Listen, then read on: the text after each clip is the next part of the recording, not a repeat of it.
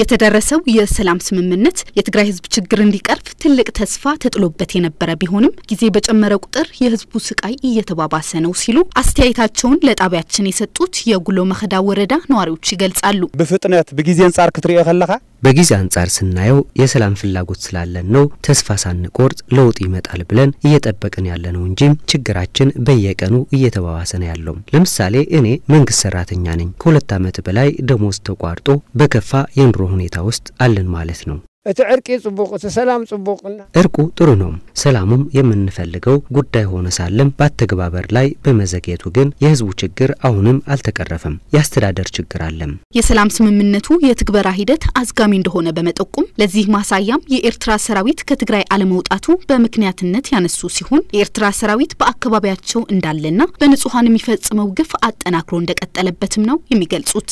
እዙይ ክፍታሕ እንተኮይኑ ግን እቲ ናይ ሰላም ካብ ጫፍ ናብ ጫፍ እቲ ዝተኣተወ ውዕሊ ችግራችን ሊፈታ የሚችለው በሰላም ስምምነቱ ላይ የሰፈሩ በመሬት ላይ መተግበር መቻል አለባቸው። ያለፈውን የህዝቡ አስከፊ ስቃይ በሚክስ ሁኔታ እንዲተገበር ነው የምንጠብቀው። ግን እስካሁን በአካባቢያችን የኤርትራ ሰራዊት አለም ግፍ እየፈጸሙ ነው ያሉት። እኛም የኢትዮጵያ ህዝብ ነን፣ ግን የኤርትራ ሰራዊት በሶባ አለም።